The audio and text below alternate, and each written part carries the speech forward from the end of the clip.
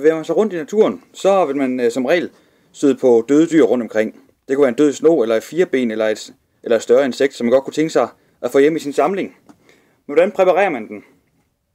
Jo, man putter dem i sprit. Ganske simpelt. Og her, der har jeg en sno, som jeg har fundet ved Trande Mølle, øh, som jeg har haft i et par år efterhånden. Og som I ser, så bliver spritten med tiden en lille smule uklar. Derfor så kan, så kan det være en fordel at, at skifte spritten med års mellemrum. Og husk at efterfylde, hvis det er, den øh, begynder at, at, øh, at synke lidt herinde i glasset. Det er også vigtigt, at man putter en lille seddel på, hvor der står, hvor man har fundet dyret henne. Og der kan se, at den har fanget ved Trande Mølle her på Fyn. Og det er juni 09, og den fangede mig.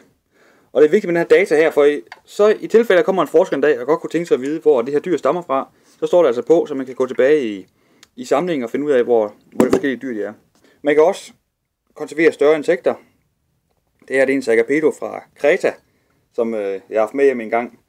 Og der kan det være en fordel at spænde den fast på et stykke plastik, som kan være svært at se derinde. Det kan I måske fornemme der. Så man kan se hele dyret, og man kan faktisk også se det på bagsiden. Som I kan se. Og lige så har jeg også lavet en seddel her på, hvor der står, hvor og når jeg har fanget det her dyr. Så øh, sprit, det er rigtig godt til værktøj, når ikke man længere må bruge formalin.